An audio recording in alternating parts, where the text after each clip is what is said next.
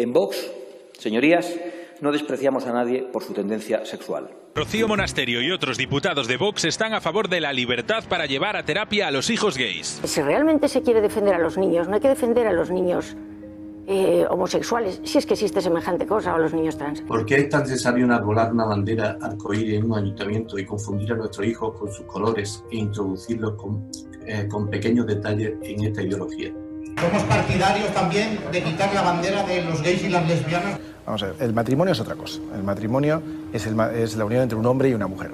Pero creemos que la institución del matrimonio es la unión de un hombre y de una mujer y que tiene que ser protegida. ¿Usted quiere que sus hijos eh, reciban de 0 a 6 años esa educación sexual, que se les hable del sexo anal? Desde luego el despacho mío está abierto para usted y para todos, gays, lesbianas, normales, no normales. Pierde toda esperanza de adoctrinar a nuestros hijos para convertirlos en enfermos como ustedes. Cambiando de sitio las fiestas del orgullo hacia sacándolos de Madrid porque causan verdaderos problemas. Y diría que se vayan a la casa de campo.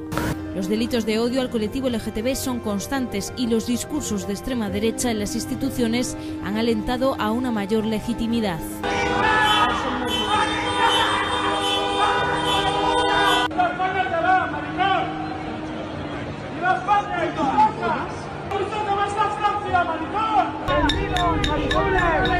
¿Qué le parece que la Guardia Civil le hayan puesto hoy, la Dirección General de la Guardia Civil, el logo arcoíris? Hombre, pues teniendo un maricón de, de ministro, ¿qué se, qué se puede esperar?